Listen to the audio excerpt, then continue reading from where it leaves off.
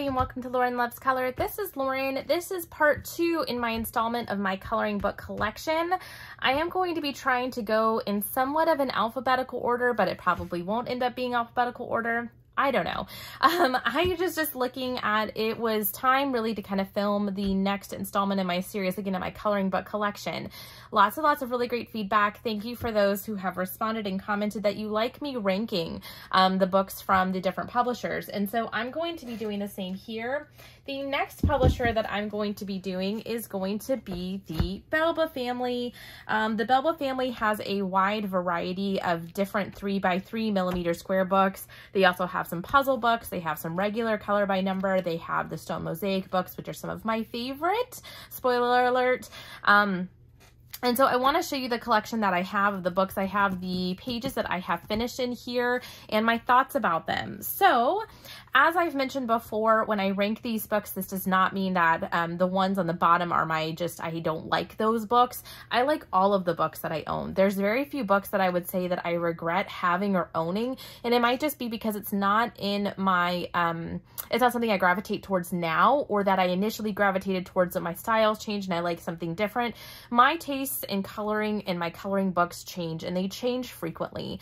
Um, and I've learned that over the past year. There are books and styles that I really, really liked at the beginning of my coloring, coloring journey that I've kind of drifted away from, but then sometimes I gravitate towards that, toward back towards them. So if you ask me an hour from now, a minute from now, or a week from now, I will probably rank these books differently just based upon my personal preference at that time. So let's go ahead and start with um, the bottom of my list. This is the Mystery Mosaic Secret Patterns books. I will tell you the three by three millimeter squares are very time consuming. And so you'll see a lot of these on the bottom and that's just because right now my coloring time is somewhat limited and is actually about to be a bit more limited as I'm continuing to focus on some other hobbies um, and things like that as well. But I received um, most of these books directly from Belba Family and thank them very much for that. This is one of their three by three millimeter square books and I think I've only done one page in here that is this one. Um, and this is kind of a kind of a floral um, pattern type of style. I actually like that this was not a repeating pattern, but patterns in general are not my absolute favorite. Um, if you would say there's one style of book that I'm not as drawn to, it's typically patterns, especially intricate patterns. I can do easy patterns and easy patterns I'm drawn to, but the more intricate they are, I guess they don't engage me as much because I feel like I'm coloring the same thing over and over and over again. Um, I used the dot method in this book and I don't feel like it turned out that great. I feel like there's definitely opportunities in this book to utilize the X method, which looks nicer, um, or to color them in whole. But these do take a long time, um, but still a kind of a pretty neat um, book. You'll see some of the, I'll show the back of each book because it kind of gives a little bit of a preview um, of what you'll see inside the book, but that is um, my bottom one. How many books do I have? One, two, three, four, five, six, seven, eight, nine, 10, 11, 12. So 12 Belba Family books. Um, this next one, again, it kind of falls into that same um, category because it is a pattern book. This is Square Mandala's Happiness. I really like this one out of all of the different mandala books um, that they have. I think they have a series of maybe three or four of them, but I like it because it's smaller. I've done the very first page in this book and I did this one utilizing the X method. And I think the X method for the most part, and we'll talk about that in a minute, for the most part works really, really well in the Bel Belba family books.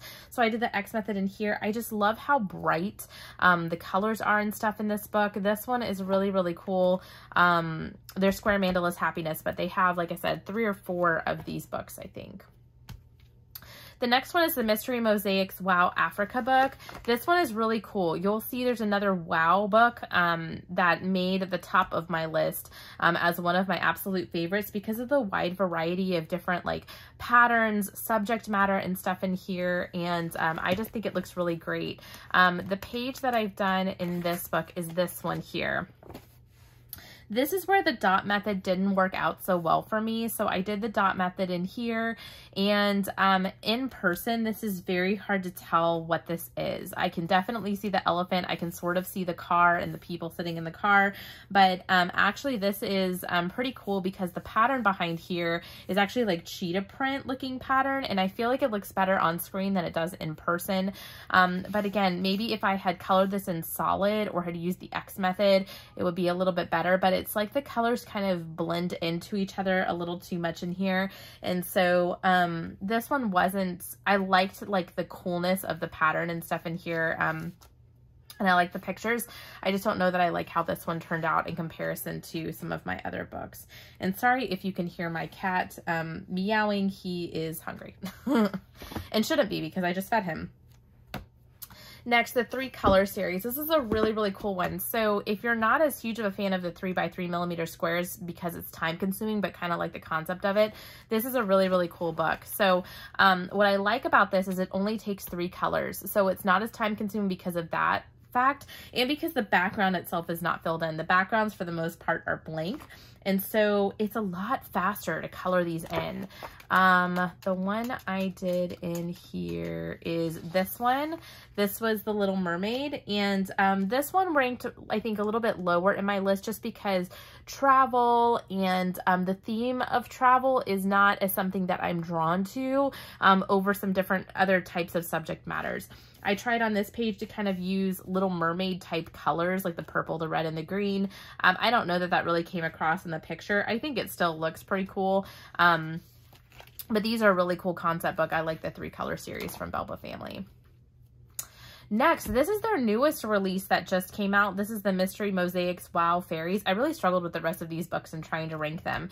This is actually an adaptation of the traditional color by number book that they have. You'll see that one in my list as well.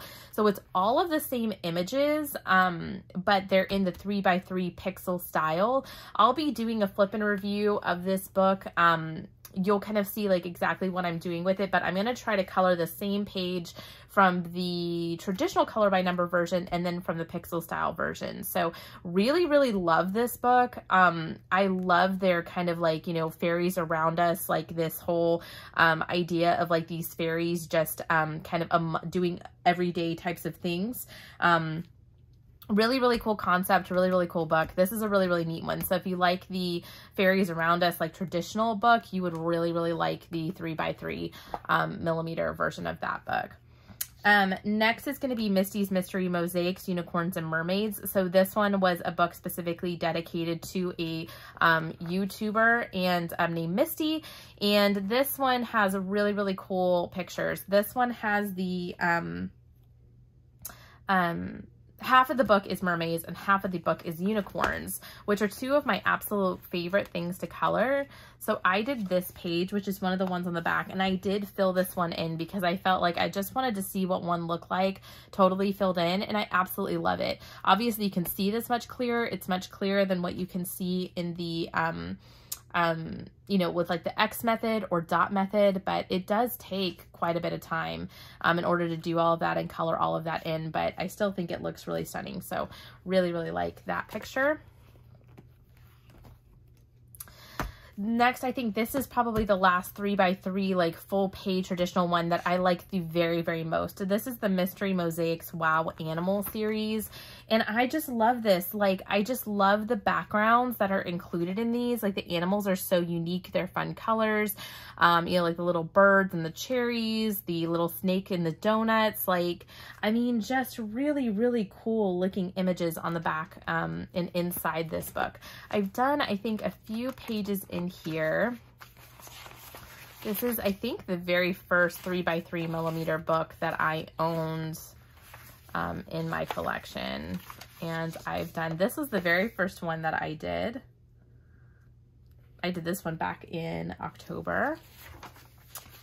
I've done, I know I've done two others in here for sure. I did this unicorn one, which is really cute. I mean, they're really, really cool images. They, man, they just take a long time to do. And then I did this toucan one as a buddy color. So yeah, really, really cool book. Um, really, really enjoy this one. Yeah, this one is by far my favorite out of the um, three by three millimeter squares. Next, this is um, the next one is the three color series, The Animals and Birds. Gosh, I had so much fun with this book. So this book is a lot of fun. Again, same concept, pick three colors you can pick. You just need a light, a medium, and a dark. You can mix the colors, choose one color, do a black and gray, you know, grayscale kind of idea. And I got this book and I just kept going. Um, I did at least a few pages in here. I did this eagle with red, white, and blue. Um, I did...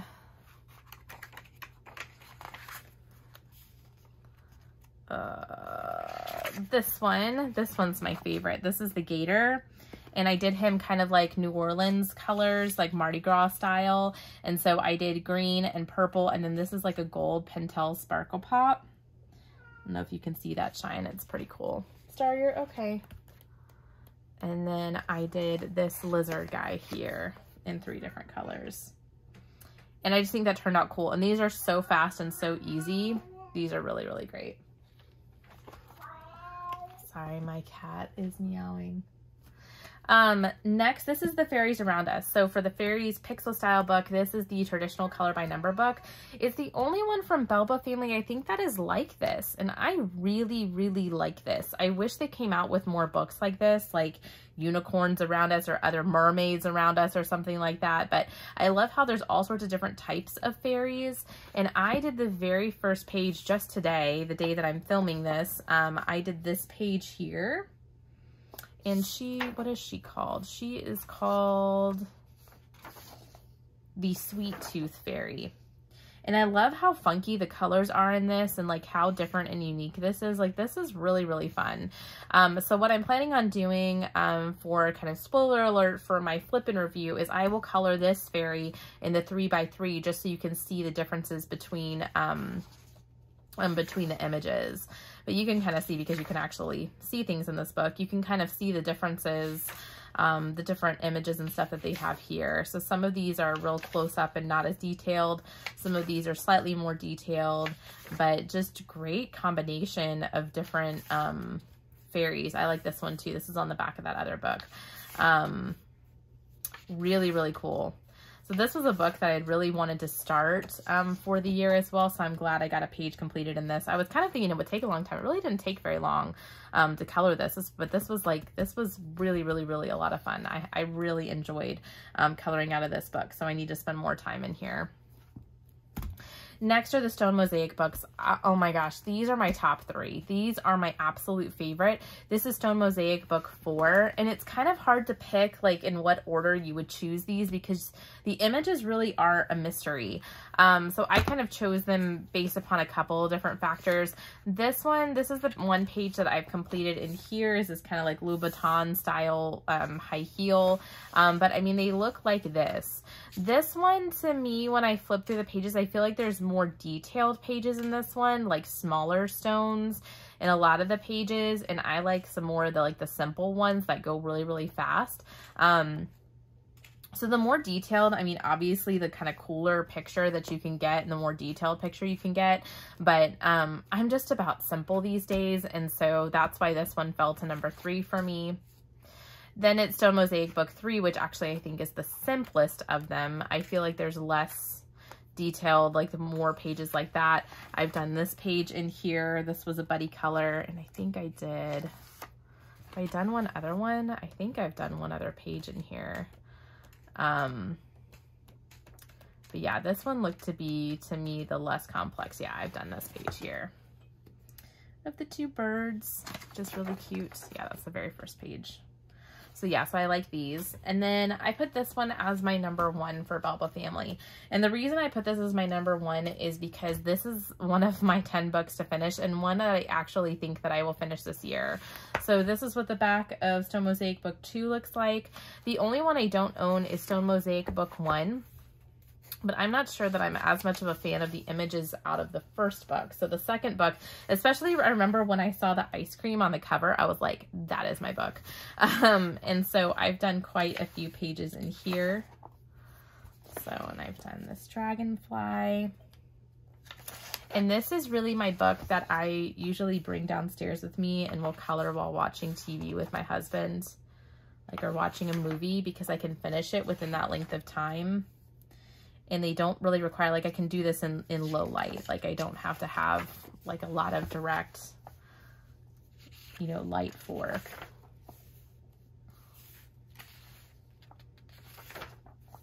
So really just nice collection of different images. This one is the only one I'm a little bit lost on what it is. I think it's a flower. I think it's a flower. but I don't know. Not 100% certain on that one. Kitty cat. I think I'm a little over halfway done. Here is the ice cream that's on the front cover. This bird. Lots of birds. Frog. Did this chair. This Native American here, and I think this is the last one that I've done. Yeah. So this next one is fairly detailed, but yeah, I have a little less than half the book, I think, or maybe exactly half the book um, to finish. So those are all of my Belba family books. Um, I hope you enjoyed this video. As usual, I will link down in the description box below a um, um, link down in the description box below um, links to all of these books for you to purchase if you're interested in any of these. Um, also, I have a playlist now specifically for my coloring book collection. So if you're interested in seeing my other video, which is my Camellia Angelkova video, you can see that there. Um, I will do another collection next. Let me know what you'd like to see and um, or else I will just pick.